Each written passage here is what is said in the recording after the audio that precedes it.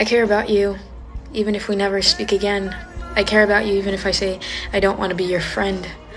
I care about your birthday, even if I never send a note. In fact, I remember it so well, I put in the first book I ever wrote. I care about your future. I think about your heart. I hope your soulmate's kind and they don't tear you apart.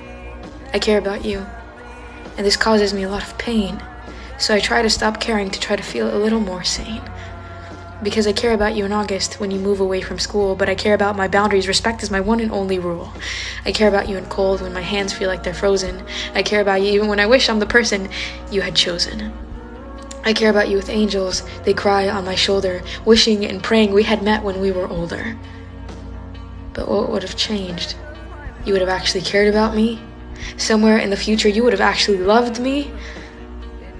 I cared about you, and maybe I care about you still, but one day someone will care enough to love me, and this time they will.